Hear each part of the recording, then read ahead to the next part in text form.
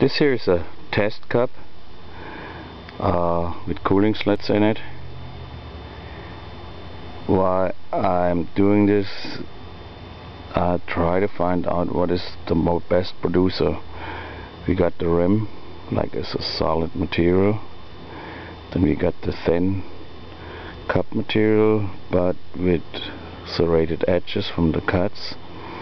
Then we got the large screw which is not uh, stainless by the way but it will produce.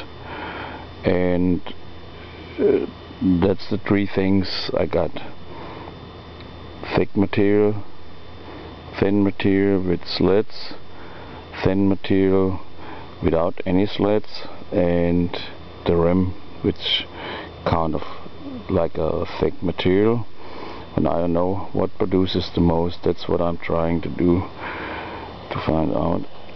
See? I just stick it in the pot with electrolyte. Need to hook it up.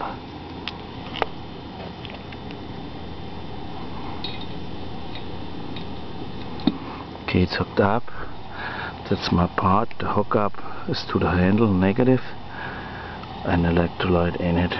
Just stick it in. My camera. Okay get rid of that. See, stick it in and see what happens.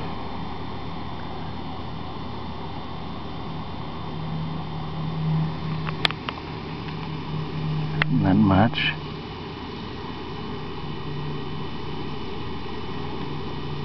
Well it looks like the rim is the best producer.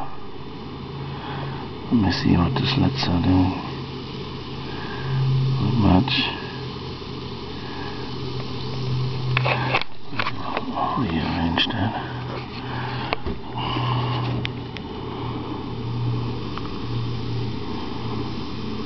Well, the nut and the screw doesn't produce anything. Yeah, a little bit. Well a little bit from the screws a little bit from the slits a little bit from the material. But